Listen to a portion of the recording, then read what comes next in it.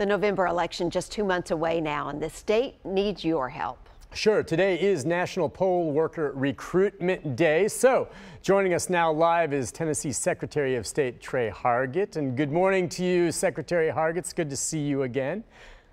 I good morning. It's good to start National Poll Worker Recruitment Day off with you and Amy. Absolutely. So, I understand you're hiring. you know, we're, we are hiring. We'll take you in a heartbeat. Take him. Ouch. Take him, ah, Secretary. so exactly how many do you need? What are we looking for right now? I mean, we need poll workers to staff all of the different locations, right? And we're a little shorthanded That's right, right. You know, if you look across the state, it takes about 17,000 poll workers to administer the elections across the state.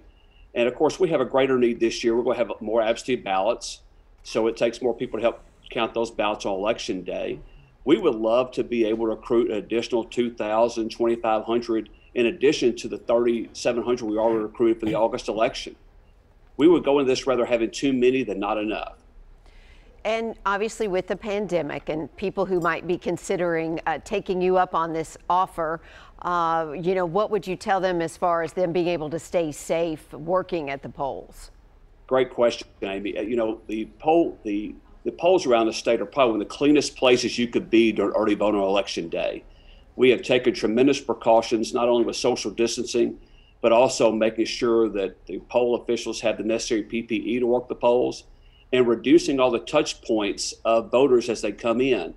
And the most common comment I've heard from people as they left the polls, and I visited 40 counties during early voting, was they said, Wow, I felt like I walked into a doctor's office or a surgical treatment center that's how clean they are. They've done a great job of making sure they are safe, clean, and secure.